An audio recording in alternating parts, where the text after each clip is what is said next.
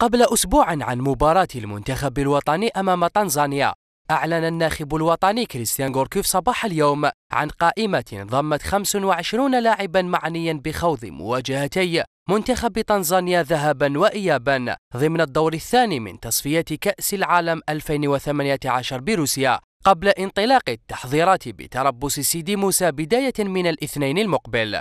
قائمة غوركوف لم تحمل مفاجآت عديدة سوى عودة كل من عدلان قديورا وجمال مصباح فيما شهدت غياب مهاجم دينامو زاغرب الكرواتي هلال عربي سوداني للإصابة فيما كان المدافع الأيمن لشبيبة القبائل اللاعب المحلي الوحيد في القائمة. وكان استدعاء لاعب مونبولي الفرنسي رامي بن سبعيني المتألق مع فريقه المفاجأة الوحيدة في القائمة.